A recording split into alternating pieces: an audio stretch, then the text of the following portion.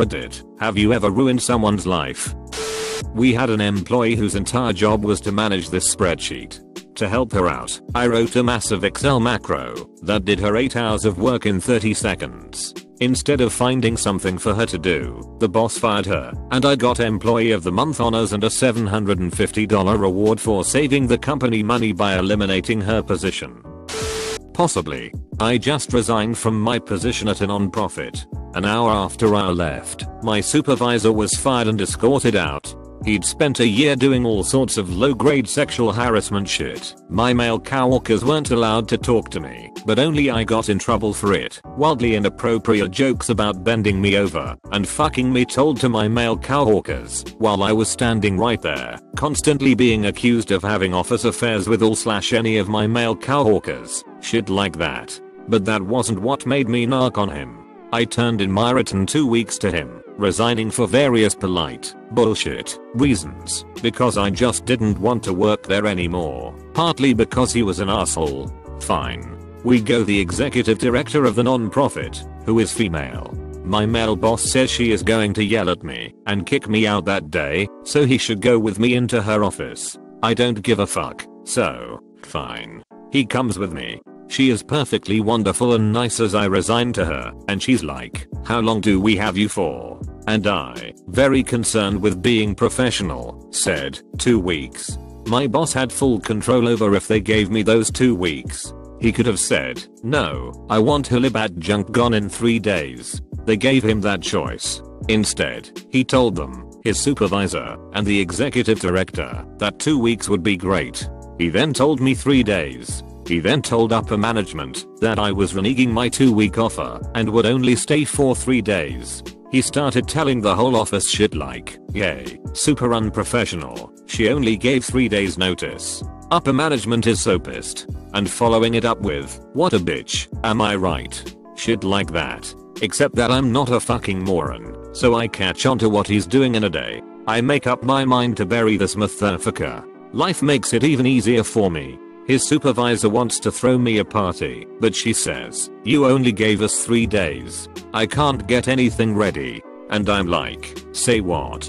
I gave you 2 weeks and we set a private meeting for my last day. I get very calm controlled poised when I'm well and deeply angry, so I wrote out my talking points and made outlines and carefully considered my word choices and made sure to dress extra professional my last day. I told her all the frankly illegal shit he was doing in the department, the stuff he was forging.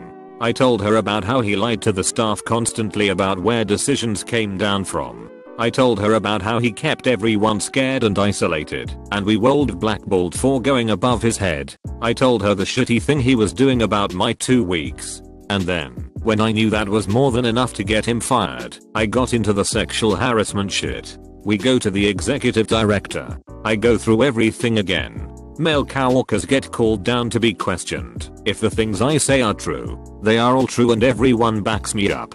I got 2 weeks of pay, another month of health benefits, and a lot of satisfaction. He got terminated on the spot. Was it life ruining? Yeah, he just bought a big house and now has a 3 year gap in his resume and this non-profit is super well connected in town. So maybe. TL. Doctor, if you persist in treating me like I'm stupid and helpless, I will fucking total war your ass when you try to fuck me over.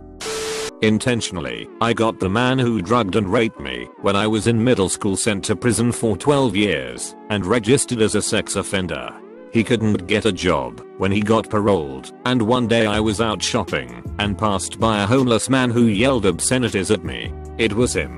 He was jailed again, later, for stealing a slice of pizza and making his arrest record even longer. I was vindictively satisfied.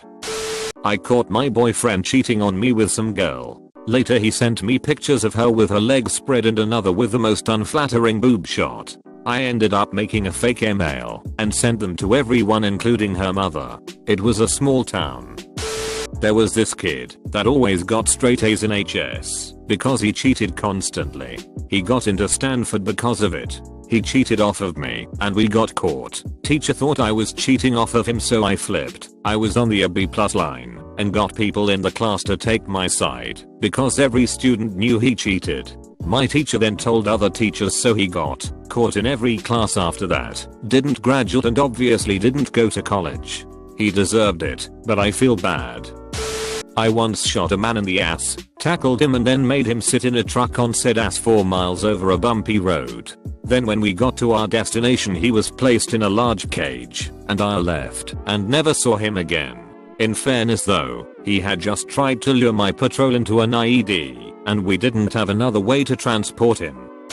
In high school, I met a girl and started hanging out with her. She expressed interest in me and told me the guy she was dating was controlling and abusive. She broke up with him and I publicly talked shit about him without actually knowing anything about him. She was the first girl I'd ever been near, and I was crazy about her, and I thought I was just defending her against some asshole. We started dating, right after they broke up. He shot himself in the head less than two weeks after that, committing suicide. We dated for a long while after that, but the way she talked about him changed completely, so some of the things I had said about him were most likely untrue. He took his own life, but I'm sure I made things shitty for him leading up to it. Don't know if this counts as ruining but in the 10th grade my good friend slash neighbor and I brought wine coolers to school. They were leftovers from a barbecue. Myself, her and a good 3 to 5 other people would sneak and drink them throughout the day. During third block I get called down to the office and of course I'm freaking the fuck out. The principal comes in and sits the empty wine cooler on his desk. By that time I'm about to piss my pants. As soon as he opens his mouth I panic and blame everything on my friend. I even wrote statements confirming what I said was true. I also ratted out everyone who drank, even those who took sips. We were all taken to get drug tested, and my parents were furious. Later on, after telling everyone that my friend was the one who ratted them out, not me, everyone stopped talking to my friend. She even got kicked off the soccer team. Soccer was the girl's life. The fucked up part? My friend's mom was so mad slash embarrassed by her actions that she packed up and moved out god knows where without a word to anyone. To this day my old friend won't add me on Facebook or even answer apology messages.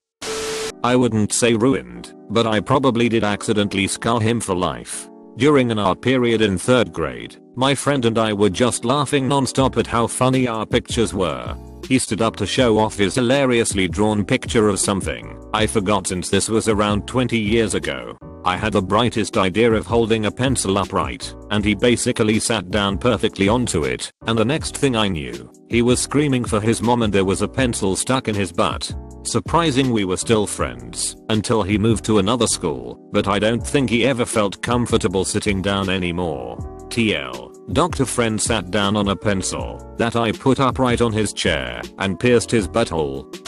I was young, my wife was home pregnant with our first child, and I was out late one evening getting her a drink from Sonic, which was one of her cravings. I should say at the time I was working a full-time job and going to school at night, so I was pretty tired. It was after 10pm, and I was waiting on traffic in a median to pull into the fast food place. All clear, so I start to go and all of a sudden there was a loud bang, and I black out for a second. It turned out that a guy on a motorcycle whipped out of the gas station next to Sonic and I hit him on my way through. I blacked out B slash C the airbag went off and knocked me out for a second. When I came to I was rolling forward through the oncoming lane and I saw sparks flying when I looked out my driver's side window as the motorcycle skidded down the road. I put it in park, got out still dazed and fell over. Bunch of people at Sonic ran over to me and the guy on the motorcycle Thing is, he had his kid on the back. About 15 to 16 Y slash O. Cops got there, and they called life flight. I never saw the guy's motorcycle lights on, and when I saw it going down the road I didn't see lights on. I just didn't see him. I'm pretty sure he didn't have them on, but B slash C it happened so fast, and I was already dead tired I can't be 100% sure. I got the usual breathalyzer and whatnot which all came back negative. They both survived, but the kid was some big football star at the high school and probably would have had some scholarship lined, but B slash C of the accident he had to get some major surgeries and steel rods put in his legs. Nothing ended up happening legally as it was ruled an accident and there was no follow up. Just what I did to make sure they survived. And about the kid. I'll never forget the look that kid's grandpa was giving me at the scene of the accident when both his son and grandson were being picked up by life flight and weren't sure if they were going to make it. I don't know about ruin, but certainly change. I've posted this before but here it is. I kissed a girl at a bar one night, we exchanged numbers and that was that. A week later I was at the same bar, and there's this wasted guy acting huffy and his friends were telling him to chill out. Didn't really think about it, until I saw him walking towards me yelling gibberish. He reached out to grab me, and at the same time he walked into barstool and I raised my arm fairly quickly to keep my distance, and he tumbles to the floor. His friends thought I punched him, they ran over, and apologized and got him out of there. Turns out the girl was his girlfriend and they broke up the day I hooked up with her, but they had since gotten back together.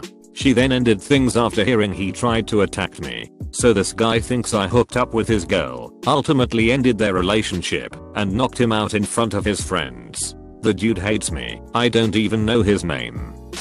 A friend of mine was tasked by his manager to fire someone on his team. My friend knew that the person to be fired was going through some emotional times and requested that the manager do it himself, but he was made to fire him as he was his manager. The fired guy committed suicide a few days later, and my friend went into serious depression and blamed it on himself. That was 2010. He quit his job soon after, went into seclusion for a few years, smoked a lot of pot, and now he's finally bounced back and is seeming somewhat normal. When I was in high school, I was best friends with this guy who took photographs for the school newspaper. He was kind of lazy, a bit of a slob and a pathological liar, but he was fun to hang out with. That was until I witnessed him shoot a dog with a pellet gun. After that the friendship was off. In a weird sort of way he actually became my hash one enemy. I rode his ass mercilessly for the rest of our time in school, and so did all of my other friends. Overnight, he went from a pretty well liked kid to a complete social outcast all because I saw him shoot this dog and decided that he was a total asshole. I guess I was pretty popular because the change in my attitude caused a ripple effect throughout the entire school. Everyone either avoided him or picked on him ceaselessly after that. Heck, as a prank we'd even leave rotting food in the shrubs at his house all the time that he'd have to dig out or live with the stench. Well, that was almost 30 years ago, and from what I hear he's been unemployed for about 20 of those years, and is now a certified gun nut who still lives at his parents' house spending all of his welfare money on collecting a huge arsenal. Maybe he'd have ended up that way anyway, but in a way, I kind of feel responsible for him being such a massive loser. I was one of his best friends, and I turned on him so harshly and so suddenly it had to have hurt his self-esteem pretty badly. Did he deserve it? Hell yes. Was it right of me to do? Probably not.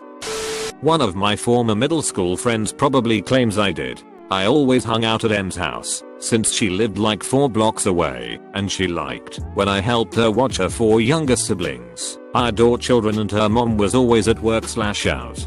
I would sleep over often, because it was middle school and that's what you did. Every once in a while, her mother would come home and act weird slash smelly funny. I was sheltered and didn't know what drunk was. Whenever this would happen, M would tell me to go home since her mom was sick. This ritual of her mother coming home drunk occurred more frequently until I started to worry. Around this time M throws a huge birthday party and invites just about every 7th grade girl to her house for a sleepover. M's mom was her usual drunk self, and many girls decided to go home. I felt bad for M and stayed with her. While talking to her that night, I found out that her mother was having M drive her car home from the bars when she was too drunk, so she wouldn't get any more dues. M was 13. I was scared for her, so I did what I thought was the right thing and told the guidance counselor at my school. M's living conditions were investigated, and it was determined that they were unfit. M and her four siblings were put into foster care. When I saw her three years after the incident, she gave me the you're dead to me look. It broke my heart, and it still does. I hope her life is better, and she'll eventually forgive me. Life is rough. TL. Doctor, my middle school friend was placed in foster care because I cared about her safety. I'm not sure. The kid moved away. The short story is that I was playing blocks with this kid I considered a good friend at daycare and he got pissed over something and knocked me on the head with a block. Dick move, right? So I grab another block and hit him on the head. It's fuzzy but I don't think he got up right away, and I remember being brought into another room until the parents got there to pick him up. I never saw him after that. I assume brain damage or something. A small part of me suspects he may have died, but I was young, and no one's going to tell me, because it was a long ass time ago and even now, it'll affect my psyche.